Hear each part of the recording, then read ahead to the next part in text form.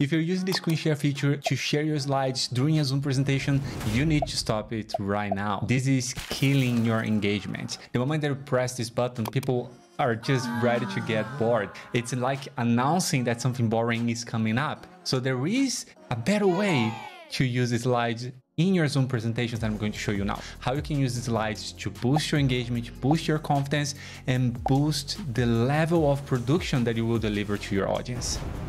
My name is Felippe and I help hundreds of presenters create truly unique virtual audience experiences that they can run entirely by themselves. And I'm going to show you exactly what worked for us, what gets the audience hooked, what gets us confident to present, and what makes the biggest impact when it comes to do a slideshow presentation. Picture this, you arrive at a Zoom presentation and you are excited to hear the topic that the presenter is going to bring up. They have a really nice camera, they have a nice set and you are excited.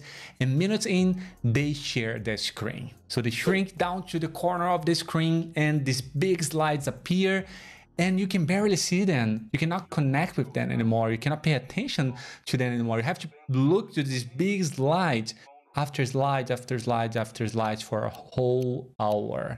Look, there is nothing worse than having this experience. And if you are doing workshop presentations, sales meetings, or anything where you want to drive the audience attention, you want to conduct them, you want to drive their ideas, you need them to be engaged, to feel excited to hear what you have to say, to be able to learn what you're teaching. And using the screen share and being the corner of the screen and talking for a whole hour like that is not the way that will work. And let me tell you this, when it's on your side, when you are presenting and you share your screen, the audience goes away. You cannot see the audience anymore. So you are left to be talking to the wall. You just need to trust that people are there or just pretending to be talking to people, but you cannot see them. You cannot see their reactions. You cannot read them.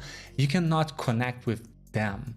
So when you're doing a slideshow presentation using the screen share, the connection breaks both ways. The audience cannot connect with you and you cannot connect with the audience. And I know that this is something that might be in your day to day already because the way of sharing screen to show your slides is the way that everyone has been doing this entire time. No one is doing differently actually. Everyone is sharing the slides big on screen, shrinking their camera to the corner and talking for a whole hour like that without seeing the audience and the audience without seeing them. But it doesn't have to be this way. What if I told you that you can have these slides to support your message. And every time that you use the slides, this is actually going to boost your engagement with your audience. This is actually going to get them more excited and following the content that you have to share more closely. What if I told you that using slides is something that could feel magical to the audience and this could be exactly the thing that drives then into your presentation, this is what we're going to see today. Different ways to use slideshow presentations on Zoom that takes you to a whole new level of connection with the audience, of engagement and of quality of production that you're going to be able to deliver to your audience now. So how this is going to work? In order for you to stop using screen share, you need it on the way to share your slides. We are going to be using a production tool that will allow us to incorporate the slides into our camera. So we can design exactly what we want people to see, how we want people to see these slides, how big we are on screen while the slides are showing, the slides are going to support your message and appear on screen exactly at the moment that you want. Without shrinking you down to the corner of the screen, no, you have full control over it because you will be using a production tool to do that, to control exactly what people see when they are looking to your camera on Zoom. And the production tool that we are going to be using is called OBS Studio.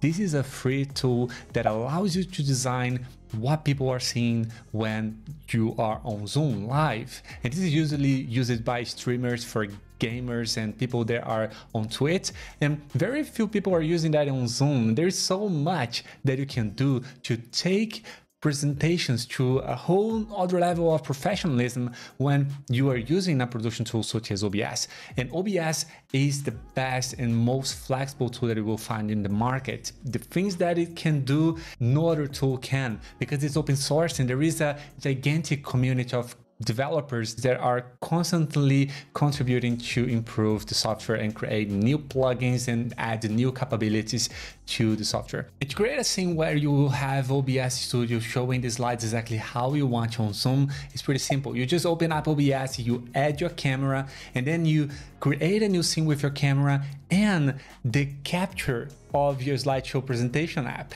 So it's a screen share inside of OBS that you can position, resize, and organize it exactly how you want. And just by doing that, you already are improving your presentation delivery a lot because now you have two scenes that you can switch and show on Zoom while you are switching that will show your camera and will show your slides with you big on screen. And to complete, you add a Stream Deck to the mix, and whenever you press a button, the scene is going to be changed and you're going to be showing your slide. You press another button and you will be just with your camera. So you can share your slides exactly when you want. And this is what people don't realize. In front of me, I have two monitors, one with my slides, another one with Zoom, and I can see my slides the entire time, but the audience can only see the slides when I want, when I press a button on my Stream Deck, which by the way, you can have as a physical device like this one, or you can transform your phone into a deck of buttons with the Stream Deck app that you can use to control your presentations live so that you don't get distracted clicking on the mouse, switching tabs or pressing to share screen, not, nothing like that. One press of a button and you will be switching the scene on OBS and showing the slides to the audience in this very new cool way. The thing that I like to do though is instead of using horizontal slides, the regular size slides, I like to use slides that are 1350 by 1080 and this is smaller slides the size of an instagram carousel or instagram post. And the reason why i like these slides so much is because they don't fit much information. They only fit very few information which is exactly what i need if i want these slides to support myself i don't want to drop a lot of text on it for people to be reading. I want it to be concise. I want the message to be to the point and to drive an idea home and not compete with me in attention and leave the audience without knowing if they should be paying attention to me or read a bunch of text that is on my slides. I fixed that by making the slide shorter and because of that, I also am able to create something very cool, which is instead of having a picture-in-picture -picture camera of myself with the slides, I have the slides coming to my scenario and it just integrates with my own camera because the slides are smaller and they fit this corner of the screen just like that. This is something that increases the production, the level of production tremendously. So using smaller slides and combining these with a more concise message and integrating these immersively into your own camera creates a tremendous connection with the audience.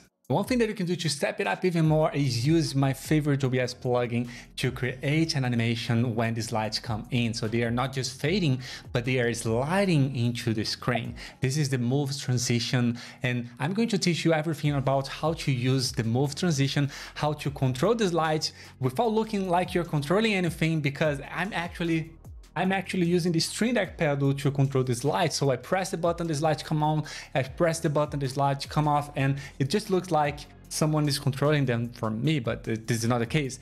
I'm controlling them using the Stream Deck pedal. And I'm going to teach you everything that you need to know about controlling slides and controlling your presentation and feeling connecting with the audience and creating this level of animations and this level of production in my masterclass that is coming up pretty soon. This is to be a free masterclass that will transform your virtual presentations into truly unique virtual audience experiences. You don't want to miss it. It's to happen in just a few weeks or days, depending on when you're watching this video. So go to the link in the description and sign up to it right now so you don't miss it. I'll see you there.